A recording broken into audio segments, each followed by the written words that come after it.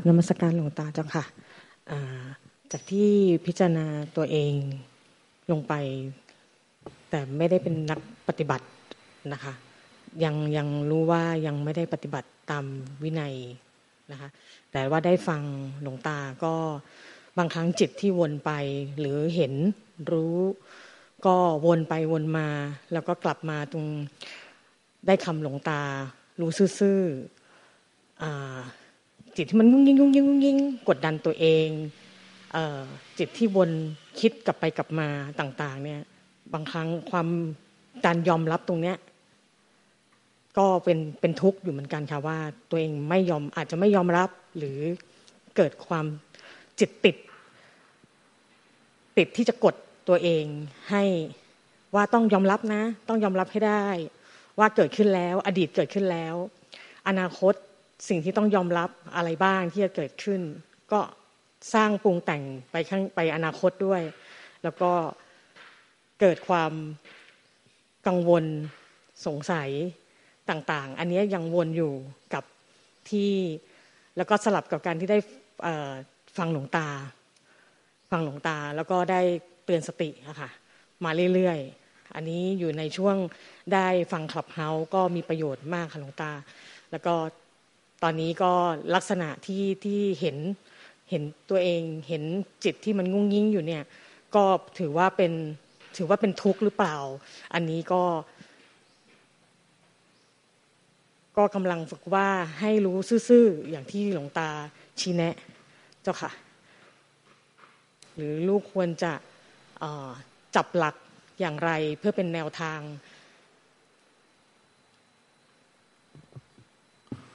ของโยมเนี่ย ยังเข้าใจคำว่ารู้ซื่อๆผิดนะพยายามฝึกให้รู้ซื่อๆรู้ซื่อๆจิตไว้เนี่ยรู้ซื่อๆจิตหรือว่าไอ้บ้าไอ้บ้าที่มันพูดอยู่ข้างในเรียกว่าจิตปรุงแต่งเนี่ยโยมเนี่ยไอ้ที่ว่าพยายามว่าว่าจะฝึกรู้ฝึกให้รู้ซื่อๆรู้ซื่อๆเนี่ยคือ เอาตัวเราเนี่ย ไปฝึกให้รู้ซื่อๆเอาตัวเราเนี่ยไปฝึกให้รู้ซื่อๆไม่ได้ เพราะว่า เราพยายามจะมีตัวเราพยายามที่จะฝึกให้รู้ซื่อๆรู้อะไรให้พยายามให้รู้ซื่อๆรู้ซื่อๆความคิดตึกตอนปรุงแต่งในใจให้พยายามรู้ซื่อๆมีความคิดมีอารมณ์มีความทุกข์มีความสุขมีความผ่องใสมีความเศร้าหมองมีความคับแค้นใจ ก็เอาตัวเราไปฝึกรู้ความคิดอารมณ์อาการเหล่านั้นน่ะให้รู้ซื่อๆพยายามให้ฝึกรู้ซื่อแต่เป็นความรู้ซื่อๆที่บังคับ กดข่มบังคับ ให้จิตใจของเราหรือตัวเราเนี่ยยอมรับ ยอมรับอารมณ์ ยอมรับอาการให้ได้เพื่อให้มันรู้ซื่อๆอันนี้อันนี้ผิดนะผิดผิดผิดผิดผิด อย่างนี้จะสะกดจิตได้ดำคำแล้วหนักตื้อตึ้งไว้หมดแล้วที่บอกว่าโยมประชาที่บอกว่าหนัก มันหนักมันหนัก อื้อตื้อก็เพราะว่าโยมก็ใจผิดอะโยมเอาตัวเราเนี่ยไปทำรู้ซื่อ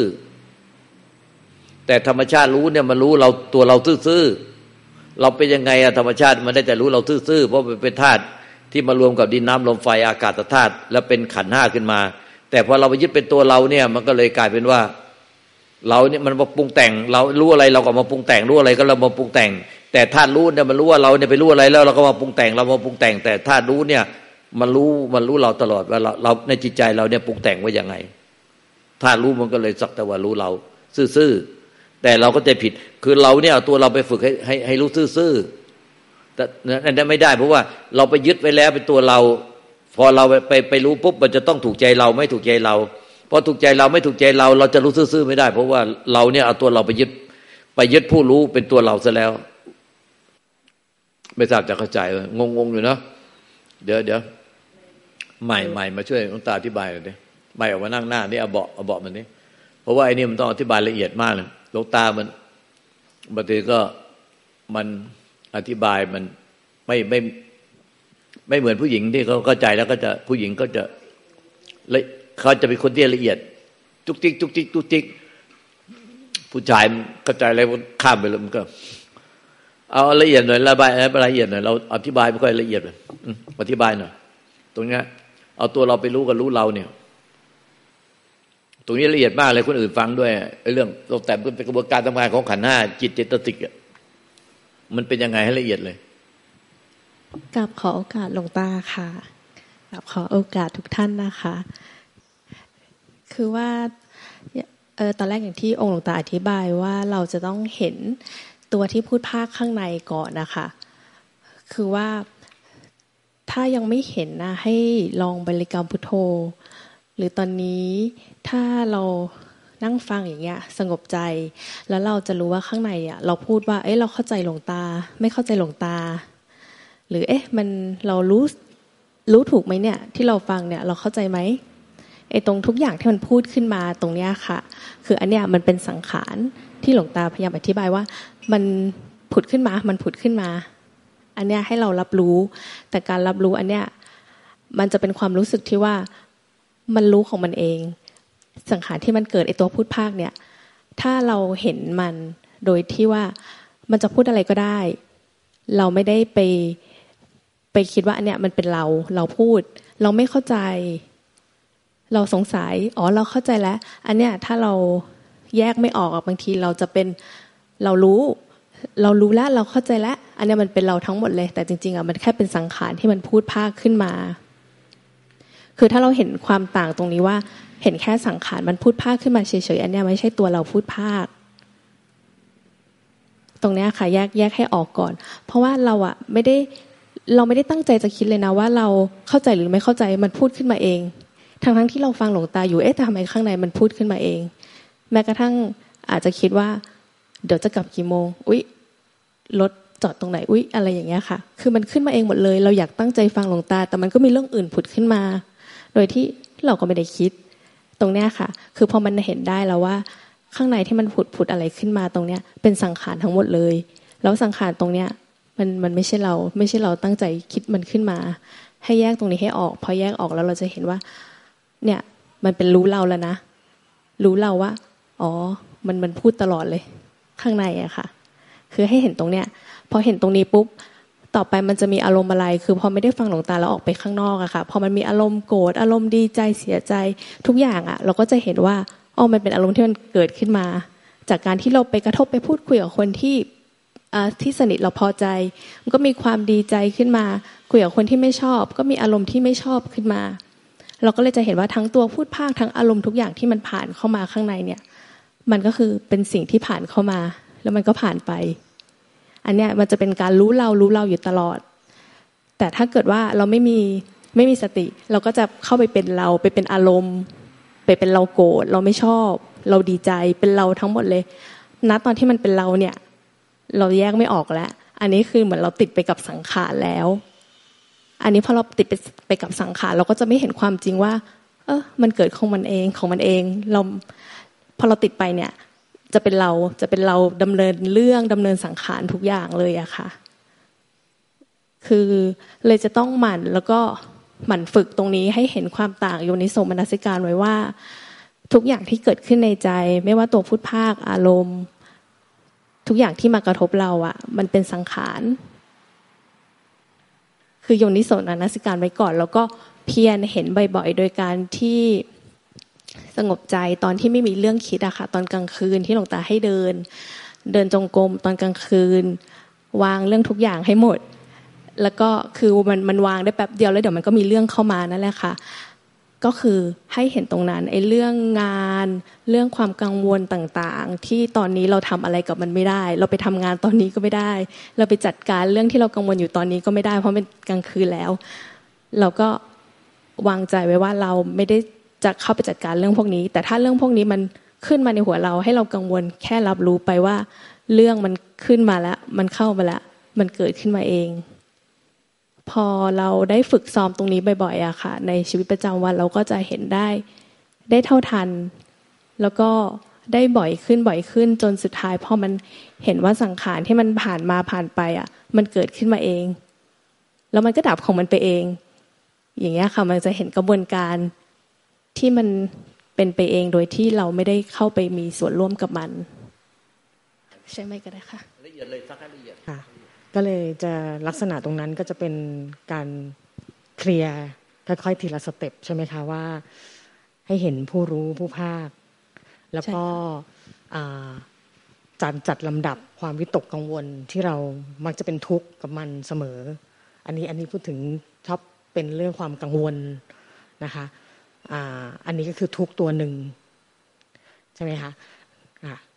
อันนี้ก็คือจุดที่จะต้องไปนำไปเห็นรู้ให้ชัดเจนตรงนี้ก่อนใช่ไหมคะค่ะแต่ว่าเราเห็นทุกตัวเลยนะคะ ไม่ใช่แค่ความกังวลที่เราเข้าไปไปให้ค่ามันเยอะๆ เราถึงจะเห็น คือมันมันสามารถเห็นได้ทุกตัวทั้งความสุขความทุกข์ทุกอารมณ์ ทุกคำพูดภาคที่มันเข้ามา คือมันเป็นสังขารทั้งหมดเลย มันเป็นตัวที่ถ้าเราไม่เห็นเราจะติดไปเป็นมันจริง ๆ อันนี้ค่ะ อันนี้สิ่งที่ยอมรับว่าเป็นเขาเรียกว่าเขาเข้ามาวนเวียนอยู่ตลอดอดีตคือกองหนึ่งปัจจุบันก็กองหนึ่งแล้วก็ภาคอนาคตอยู่กองหนึ่งมีความรู้สึกอย่างนี้เนี่ยค่ะการจัดลำดับเดี๋ยวที่เป็นปัญหาในจุดที่ยังไม่เรียงเรียงลำดับของการตรงนี้ไม่ได้นะคะ คือหมายถึงมีความกังวลในเรื่องอดีต ปัจจุบันแล้วในอนาคตอย่างนี้ใช่ไหมคะ คือว่าทุกความกังวลที่มันเข้ามามันมันเท่ากันในแง่ที่ว่ามันมันผ่านเข้ามา มันผุดขึ้นมาเอง เพราะฉะนั้น ถ้าเกิดว่าเรื่องที่เราจะต้องแก้ไข มันแก้ไขได้เราต้องจัดการ มันผุดขึ้นมาเรารู้แล้วว่าเรื่องนี้เราต้องจัดการ ถ้าเราต้องจัดการเราก็ต้องไปจัดการมันนะคะ แต่คือถ้าเรื่องไหนเราจัดการไม่ได้แล้ว หรือจัดการไปแล้ว มันสุดกำลังเราแล้ว ก็ปล่อยวาง ถ้ามันจะเข้ามาให้เรากังวลอีก เราก็แค่รับรู้ว่ามันเป็นเรื่องที่มันเข้ามาเฉยๆมันเกิดขึ้นมาเฉยๆค่ะ เพราะฉะนั้นจะเป็นเรื่องอดีต ปัจจุบันหรืออนาคต ก็มีค่าเท่ากัน ความกังวลนี้ก็มีค่าเท่ากัน ใช่เป็นตัวเดียวกันค่ะ คือในอย่างอย่างอย่างความกังวลในอนาคตถ้ามันยังไม่เกิดบางทีเป็นการที่เราคิดฟุ้งซ่านไปก่อน ว่ามันจะเกิดเราจะแก้ไขยังไง ถ้ามันเป็นเรื่องที่มันยังไม่ได้เกิด แล้วเรากังวลไปก่อนมันมันมันก็เป็นการคิดที่มันไร้สาระและเสียเวลาเหมือนกัน มันยังไม่เกิดมันอาจจะไม่เกิดก็ได้ ก็คือให้เห็นว่ามันเป็นสังขารที่มันเกิดขึ้นมา คือไม่ว่าจะเป็นอดีตปัจจุบันหรืออนาคต เห็นไปอย่างเดียวค่ะว่ามันเป็นสิ่งที่มันเกิดมาเกิดมาเอง แล้วก็ผ่านไปเองค่ะ ถามต่อได้นะคะใช่ไหมค่ะด้วยด้วยด้วยการที่เรายังอาจจะยังไม่ได้ศึกษาและปฏิบัติ แล้วก็การจับละเอียดลงไปยังอันนี้ก็เป็นคำผู้รู้ ตัวผู้รู้ผู้ภาค อย่างนั้นใช่ไหมคะ อันนี้คือคือคือตอนนี้ก็ได้นำตรงนี้ไปอะไรก็นะไปพิจารณาปฏิบัติก่อนนะคะต่างที่ได้ได้ได้ให้ข้อชี้แนะ อันนี้ก็ค่ะพอพอที่จะต้องไปไปฝึกตรงนี้ก่อนค่ะก็คือเป็นการฝึกเห็นตัวผู้ตัวภาคในใจ แล้วก็สังเกตว่าถ้าเกิดเราติดไปแล้ว บางทีมันจะเป็นความทุกข์ความอึดอัดในใจที่มันเกิดขึ้น เราก็จะรู้ว่าอันนี้เราติดสังขารไปแล้ว เราหลงไปกับความคิดแล้ว เพราะว่าถ้าเกิดว่าเราเห็นมันอยู่เฉยๆเนี่ย มันก็จะเป็นสิ่งที่ผ่านมา มันอาจจะอยู่นานหรือไม่นานแต่ว่า พอเราเห็นแล้วเราไม่ไปเป็นมันอะมันจะไม่มีความทุกข์ที่มันเสียดแทงเราอะค่ะ เพราะเราก็เห็นแล้วว่า มันก็เป็นแค่ความกังวลที่มันเกิดขึ้นมาชั่วคราวคือเมื่อไหร่ที่มันติดไปแล้ว แล้วเรา คล้ายๆกับสะบัดไม่หยุดไม่ไม่หลุดมองไม่เห็นอะพุทโธก่อนก็ได้ค่ะ คือพุทโธไว้เพื่อไม่ใช่เพื่อให้เรื่องมันดับนะคะ ไม่ให้ให้ความกังวลนั้นมันดับนะคะ แต่ให้เห็นความกังวลว่ามันเกิดขึ้นมันมีความกังวลที่มันเป็นสิ่งแปลกปลอมเข้ามาในใจ พอพื้นใจเราอะมันไม่ได้มีอะไรอยู่เลยคือมันไม่ได้มีอะไร เพราะฉะนั้นเรื่องอะไรที่มันทำให้กังวลขึ้นมา มันก็คือเป็นสิ่งแปลกปลอมคล้ายๆกับที่หลวงหลวงตาโยนผ้า มันแค่เกิดขึ้นมา เราเราไม่ดับพุทโธเนี่ยเพื่อที่ให้เราตั้งมั่นให้เห็นสิ่งที่มันเกิด สิ่งที่มันเกิดดับเกิดดับแต่ทั้งหมดต้องต้องลองฝึกใช่ค่ะอ๋ออ๋ออ๋อเป็นมารใช่ค่ะ คือถ้าถ้าติดไปมันก็เหมือนเป็นมารตัวหนึ่งที่มันมาหลอกแล้ว เราก็ติดไปแบบนี้ค่ะ หลงหลงติดความคิด ใช่ใช่เหมือนเวลาเราติดคิด ติดนึก เขาเรียกว่าปรุงแต่งขึ้นมา แล้วก็แต่ถ้าเกิดเรารู้แล้วก็เราเขาเรียกว่าอะไรนะคะ จบคิดมาแล้วก็ผ่านไปคิดมาแล้วก็ผ่านไป ไม่ต้องเอาเหมือนเรียกว่าคือภาษาอาจจะเก็บมาทุกอย่างนั้นใช่ไหมคะ อันนี้ก็เราก็เหมือนกับว่าได้เหมือนกับแนวทางไปไปไปพัฒนาจิตใจเราเองอย่างนี้ใช่ไหมคะใช่ค่ะ แต่แต่ตรงที่ว่าไม่เก็บมาทุกหรือว่า มันก็ปล่อยมันไปอย่างเงี้ยค่ะ คือปล่อยไปโดยที่ไม่ใช่ว่าเราไปผลักใสไปรังเกียจมันนะคะ ยอมรับถ้ายอมรับมันมันก็จะผ่านไปของมันเองค่ะ การที่ติดติดคิดติดปรุงเข้ามาเนี่ยมันเป็นเหมือนเขาเรียกว่าวิสัยเรามาแบบนี้ค่ะ แล้วก็แล้วอาการที่คนอื่นบางทีบางครั้งบอกว่าเราทุกข์เราก็เลยคำถามว่าเราทุกข์อะไร บางครั้งเราข้างในเราบอกว่า เราไม่ได้ทุกข์อะไร แต่การแสดงออกข้างนอกกลายเป็นข้างนอกบอกว่าทำไมถึงทุกข์ทำไมดูทุกข์ทำไมดูคิดหรือว่านัดหรือว่าเราอาจจะมีปฏิกิริยาในการที่บอกว่าเราคิดตลอดเวลาอะไรอย่างนี้ อันนี้ก็ก็กลับมาในการเเราดูตัวเราเหมือนกันค่ะ เป็นการเขาเรียกว่าอยากจะฝึกพัฒนาให้จิตใจเนี่ยเขากลับไปยังจิตเดิมแท้ แต่ถามว่าไม่ได้ไม่ได้เกิดการถึงขนาดพยายามขนาดนั้นนะคะ แต่ว่า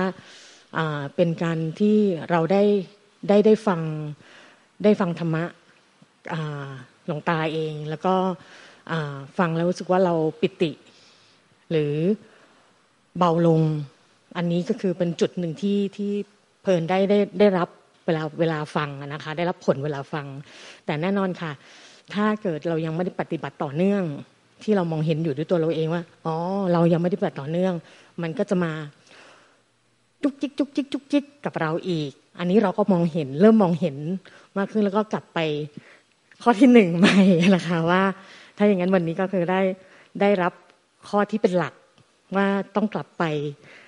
ทุกครั้งทุกครั้งที่มีเรื่องอะไรที่เข้ามากวน ใช่ไหมคะอวิชาหรือเขาเรียกว่าเข้ามากวน หรือว่ากิเลสที่เราปรุงแต่งขึ้นมาเองอถ้าเรามองเห็นก็ให้รู้ ให้รู้แล้วก็ยอมรับ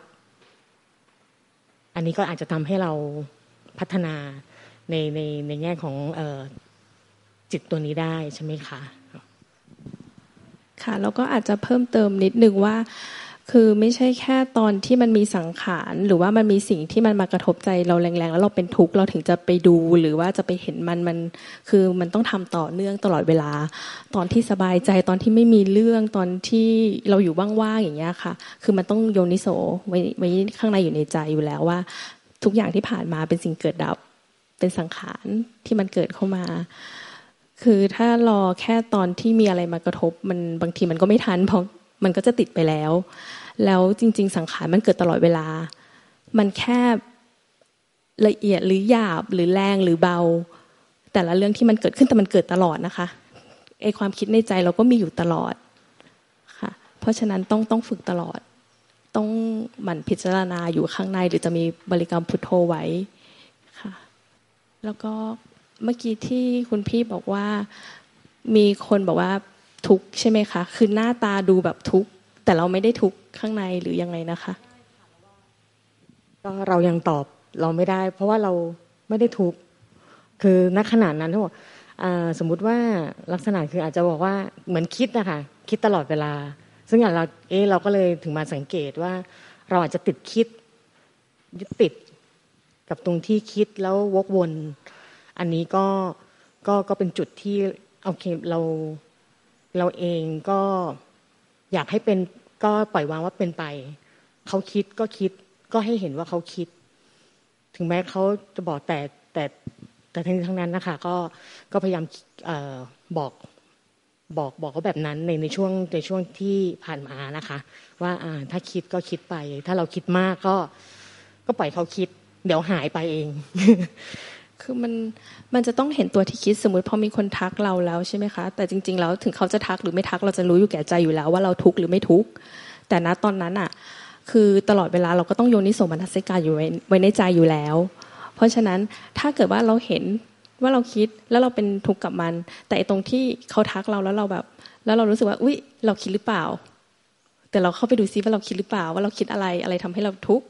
ไอ้ตรงที่พูดภาคตรงเนี้ยมันต้องเห็น เห็นอีกทีหนึ่งนะคะ ใช่ว่าเราไปกังวลแล้ว อันนี้เราติดเรื่องไปแล้วค่ะไม่งั้นเราจะเข้าไปจมไปคิดถามว่าเราคิดอะไรเราทุกข์อะไรแต่ไอ้ตรงที่คิดอยู่เนี่ยไม่เห็นไอ้ตรงนั้นจะเป็นตัวทุกข์ตัวใหม่ปัจจุบัน เพราะจริงๆเราเราอาจจะไม่ได้ทุกข์ก็ได้ แต่พอเขามาพูดปุ๊บเรากังวลแล้วอะค่ะอ่าค่ะคล้ายๆว่าก็ค่อยๆจัดการเขาเรียกว่าเห็นเห็นทีละตัวทีละทีละขั้น มันมันไม่มีขั้นค่ะ มันเห็นทุกทุกอย่างที่เกิดขึ้นมันเป็นสังขารมันมีอย่างเดียวค่ะ แต่คือเห็นให้ทันออย่างเมื่อกี้ที่อธิบายคือว่าถ้าเราคิดไปแล้วอะค่ะ คือเราไปค้นหามันแล้ว แต่เราไม่เห็นตัวที่เรากำลังคิดอยู่ อันเนี้ยมันจะเป็นการที่เราอะไปรู้ ไปรู้สิ่งที่คิดไปรู้สิ่งที่กังวล แต่ถ้าเรามารู้ทันว่าตัวเราเนี่ยกำลังกังวลและกำลัง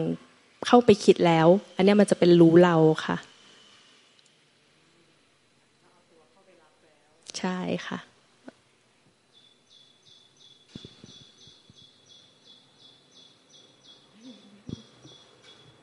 มันมันมีปัญหาอยู่ตรง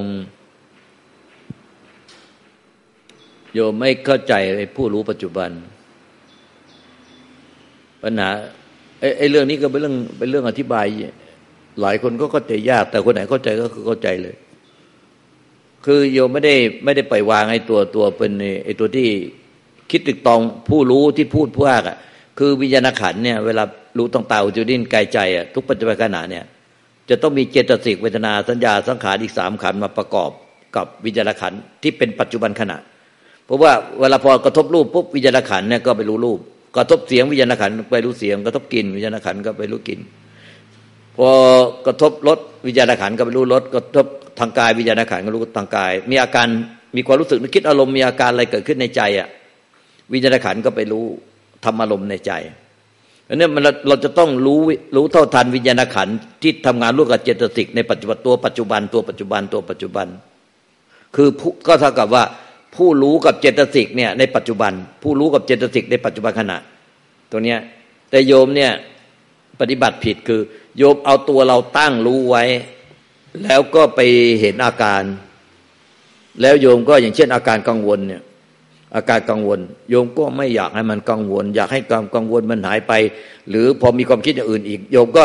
เอาตัวเราตั้งรู้ไว้ข้างหลัง แต่เอาอาการที่ถูกรู้หรืออาการที่ถูกรู้ทุกทุกปัจจุบันขณะเรียกว่าอารมณ์อารมณ์มันไม่ได้เหมือนอารมณ์ของของภาษาไทยเราภาษาไทยอารมณ์เราแปลว่าอารมณ์ไม่ดีจิตใจไม่ดี แต่นี่ไม่ใช่อารมณ์เนี่ยคืออาการทุกอาการไม่ว่าจะเป็นความรู้สึกนึกคิดอารมณ์ไม่ว่าจะเป็นสุขทุกข์ผ่องใสเศร้าหมอง จะเป็นกุศลจิตเป็นกุศลนกุศลเนี่ยเป็นความแม้แต่เป็นความคิดตึกตอปรุงแต่งเรื่องอะไรก็ตาม มันก็เป็นอารมณ์ที่ถูกรู้หมดเลย ถูกรู้ด้วยแหละวิญญาณขันที่ไปรู้อารมณ์ในปัจจุบันขณะ เมื่อวิญญาณขันไปรู้ไปรู้ทำอารมณ์ในปัจจุบันขณะ ไปรู้อารมณ์ในปัจจุบันขณะ มันก็จะต้องมีเจตสิกเวทนาสัญญาสังขารคือถูกใจไม่ถูกใจ ไม่ถึงขั้นถูกใจไม่ถูกใจแล้วก็ จำได้ไหมรู้ว่าอะไรเป็นอะไร แล้วก็สังขารก็คิดปรุงปรุงคิด อันนี้ก็มันเป็นกระบวนการทำงานของขันธ์ห้าที่มาร่วมกับวิญญาณขันผู้รู้ในปัจจุบันขณะตอนนี้เวลามันผิดพลาดก็คือ เราเอาตัวเราตั้งไว้ แต่เราไม่ไม่ได้ปล่อยวางผู้รู้ที่ตัวเราแต่เราเนี่ย เอาตัวเราเนี่ยไปปล่อยวาง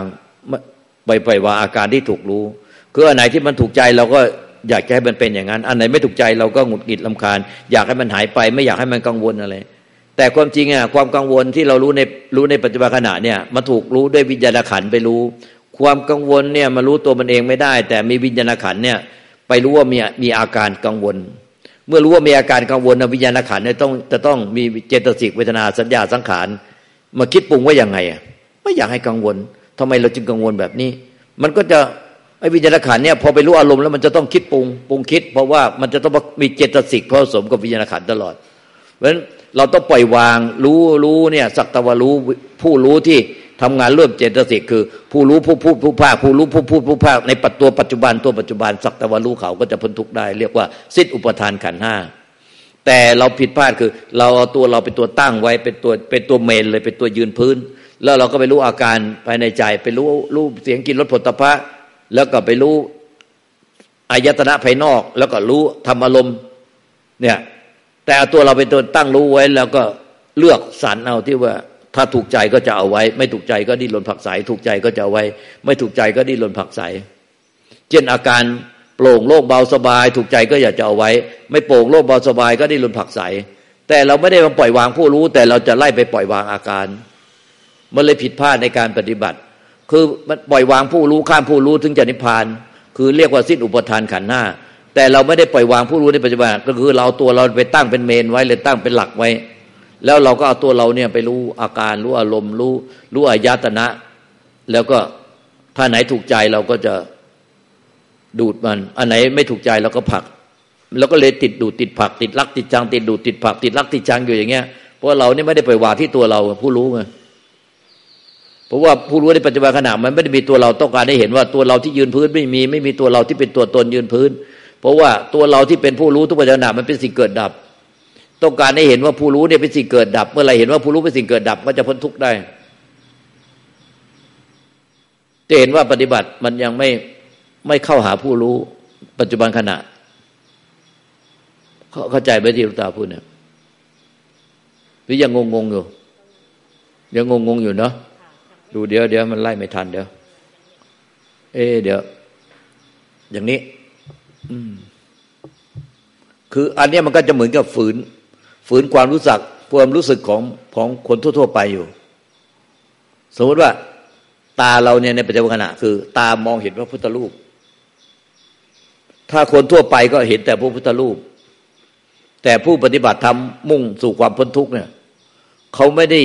มองพระพุทธรูปอย่างเดียวนะพอตาเห็นพระพุทธรูปเขาเห็นว่าจิตใจข้างในเนี่ย พูดเกี่ยวกับพระพุทธรูปว่ายังไง แล้วก็ปล่อยวาง สักต่ว่ารู้จิตใจที่พูดอย่างไรเกี่ยวกับพุทธรูปทีนี้เลื่อนมาอีกมาเห็นไอ้เครื่องที่ตั้งไว้ข้างหน้าพุทธรูป เช่นเห็นพระพระธาตุพระลมสริกธาตุพระธาตุต่างๆตั้งไว้ที่หน้าพุทธรูป ถ้าเพื่อนผู้คนคนทั่วไปก็จะเห็นแต่พระธาตุแล้วก็พูดไปว่าอุ้ยสวยมากเลย ที่นี่มีพระบรมสารีริกธาตุเยอะนี่มีพระธาตุสวยๆงามๆเยอะเลย ก็คนทั่วไปก็เห็นแต่พระธาตุแต่ผู้ปฏิบัติมุ่งสู่พระนิพพานเขาจะไม่ไม่ยึดถือสิ่งที่ถูกรู้เลยในปัจจุบันขณะเขาจะปล่อยวางว่าจิตหรือหรือที่ไปรู้เนี่ย จิตที่ไปรู้พระธาตุเนี่ยเขาพูดว่ายังไงอะเขาคิดถึงตอนปรุงแต่งว่ายังไง ว่าโอ้โหพระธาตุที่นี่สวยจังพระธาตุที่นี่มีเยอะมากเลย แล้วก็เขาก็สักตะวรู้ด้วยคือปล่อยวางก็คือสักตะวรู้ ปล่อยวางผู้ผู้ที่ไปรู้พระธาตุแล้วก็พูดภาค แล้วก็ปล่อยวางพูดภาค นี่พอไปได้ยินเสียงรู้ตาตั้งหูเนี่ยถ้าเป็นคนทั่วๆไปก็ฟังเพลินไปเลย ฟังเพลินไปเลย แต่สำหรับผู้ที่มุ่งสู่มรรคผลนิพพานเนี่ยเขาไม่ได้สนใจอารมณ์ที่ถูกรู้ รูปเป็นอารมณ์ที่ถูกรู้เสียงเป็นอารมณ์ที่ถูกรู้ แต่เขาก็รู้อยู่ว่ารู้ว่าว่าว่าเห็นอะไรได้ยินอะไร แต่เขาสนใจปล่อยวางว่า จิตที่จะไปจิตที่ไปได้ยินเสียงเนี่ย จิตที่ไปรู้เสียงมันพูดว่ายังไง คิดถึงตอนปรุงแต่งพูดว่ายังไงลูกตาพูดว่าอย่างนี้ แล้วจิตเดินพูดว่ายังไง จิตไปได้ยินเสียงลูกตาแล้ว มันพพูดภาคตามว่าไงก็ไม่เข้าใจลูกตาพูดยาก เอ๊ะทำไมเราจึงไม่เข้าใจลูกตาพูดอ๋อตรงนี้เข้าใจอุ้ยรู้เราเราเป็นแบบผิดเนี่ยเอ๊ะหรือว่าถูกเอ๊ะเป็นยังไง มันเป็นยังไง มันสูงเกินไปหรือเปล่าเลยจะเห็นว่าแค่ได้ยินเสียงลูกตาเนี่ยข้างในมันพูดไม่หยุดเลย แล้วก็ผู้ที่จะนิพพานได้ก็คือ ปล่อยวางให้ผู้ที่พูดไม่หยุดเนี่ย ที่ได้ยินเสียงแค่ได้ยินเสียงลงตาเนี่ยพูดไม่หยุด ว่าพูดไปยังไง ไม่ได้ไปหงุดหงิดเขา แล้วไม่หลงไปกับเขา ได้แต่ปล่อยวางเขาไปเรื่อยเพราะว่านิพพานมันคือปล่อยวางผู้รู้ในปัจจุบันขณะ เมื่อเรารู้ว่านิพพานมันคืออะไรเราก็มุ่งปล่อยวางผู้รู้ในปัจจุบันขณะ รู้รูปรู้เสียง รู้กลิ่นรู้รสรู้สัมผัส แล้วก็รู้อาการทางกายว่ามีเวทนาอย่างว่าอย่างเงี้ย คนทั่วไปก็จะสนใจแต่เวทนากายสนใจแต่เวทนาทางจิต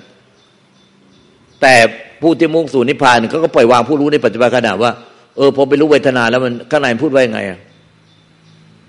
ก็ได้มันพูดคิดแต่ตอนปรุงแต่งว่าไง